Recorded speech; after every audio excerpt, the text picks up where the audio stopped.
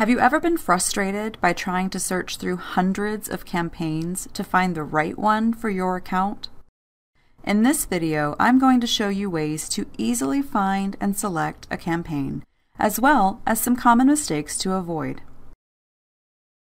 When creating a new account, it is important to link the account to the proper campaign source. This allows you to keep your current and potential customer lists more organized and better manage your interactions with them. Market leadership also uses this information to identify which campaigns drive the most business and where they should continue investing. From the primary campaign selection window, you can search for a campaign in several ways. Salesforce Connect is looking for an exact match in this section, so it is best to keep your keyword search as basic as possible if you don't know the name of the campaign exactly. For instance, searching Community Event will pull up all active campaigns for your market within community events.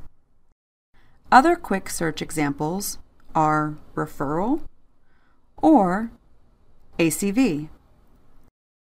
Want to see a list of all available campaigns? A common mistake here is typing an asterisk and pressing search. But because no campaigns contain the asterisk character, this search yields no results.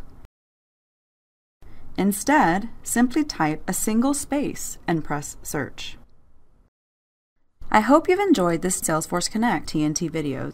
Please share these tips with your friends and colleagues and comment on this video to let our team know which tips you've enjoyed the most or if you have any requests for future videos. Subscribe to this YouTube channel to see all upcoming TNT videos.